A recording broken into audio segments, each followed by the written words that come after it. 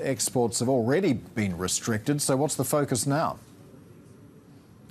Well, the focus could end up being on any and all equipment from major chip making or chip equipment providers.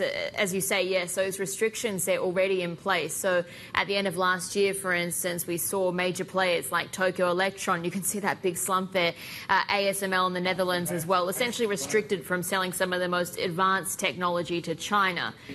What hasn't happened, though, is the servicing or the maintenance because the likes of Tokyo Electron, ASML, they've continued to maintain the equipment that Chinese companies already own. And, and the importance of that really just can't be understated uh, because if you don't service chip equipment, then it can actually stop working within a few months, uh, definitely within a year. And so that's an issue for the US because if you've got those companies like Tokyo Electron, like ASML, that keep maintaining their machines, then essentially you're continuing to enable China with its chip making ambitions.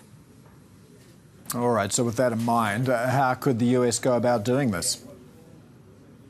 What they could impose is a measure called the Foreign Direct Product Rule, or FDPR. Uh, it's essentially a rule that puts in place restrictions or controls on foreign made products that use even just the tiniest amount of American technology, which is why I said uh, basically any and all of, of uh, equipment could be targeted by the FDPR. What sources are telling us is that this sort of idea or plan is being touted or discussed uh, with officials in Tokyo, The Hague, if uh, Japan and the Netherlands don't tighten their own measures on China. Uh, the US, of course, in a very tricky position, though, because there's also that question of how much are allies going to be listening here when you've got the US presidential election just a few months away?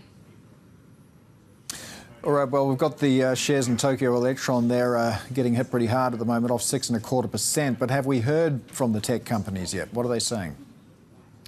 So Tokyo Electron uh, didn't give any commentary for this article, neither did ASML. But what we're hearing behind the scenes, in Japan at least, is that the government isn't going to be enforcing any such efforts. Uh, there's also been the reaction that's come through, or what we've heard from sources from the US equipment makers, the likes of Applied Materials, Lam Research, KLA, and, and we hear that they're also actually voicing opposition to it.